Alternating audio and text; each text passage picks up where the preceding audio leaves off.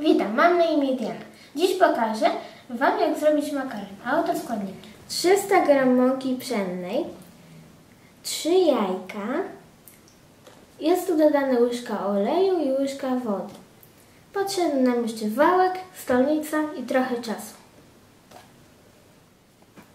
Mąkę wsypujemy na środek stolnicy. W środku robimy dołek.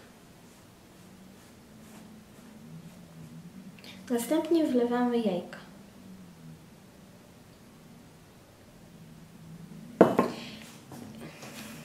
Mamy lekką powódź.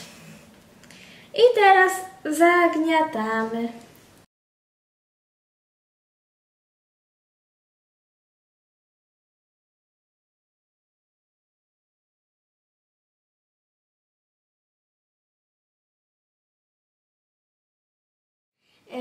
W róg stolnicy sypiemy trochę mąki, ociupinkę, kładziemy uformowaną kulę i przykrywamy ją miską. Zostawiamy ciasto pod miską przez 5 minut. Minęło już 5 minut. Otwieramy ciasto i dzielimy je na trzy części.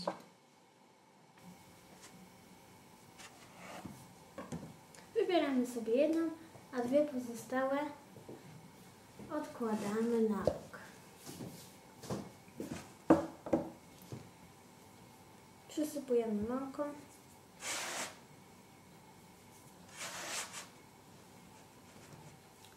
Zagnieciemy i możemy wałkować.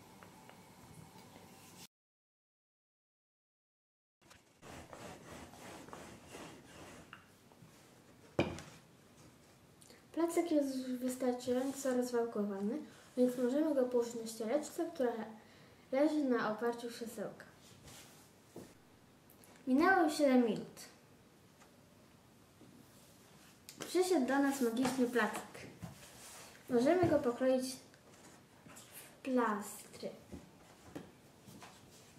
Możemy o dowolnej wielkości.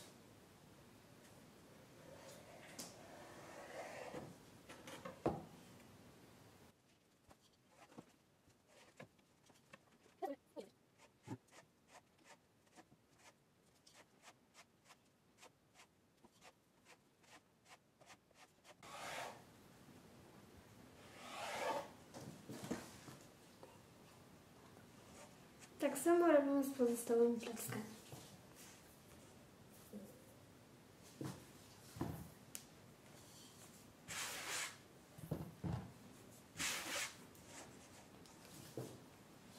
Teraz rozdzielamy i rozkładamy po stolnicy, żeby wyschło.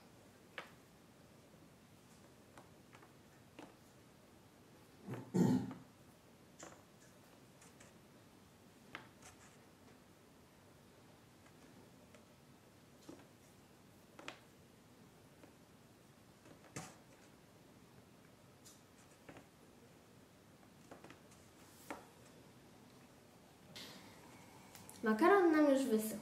Możemy go włożyć do garnka z gotującą się wodą. Nie zapominajmy, że wcześniej musi być posolony. Możemy też dodać olej, około dwóch łyżek lub masło,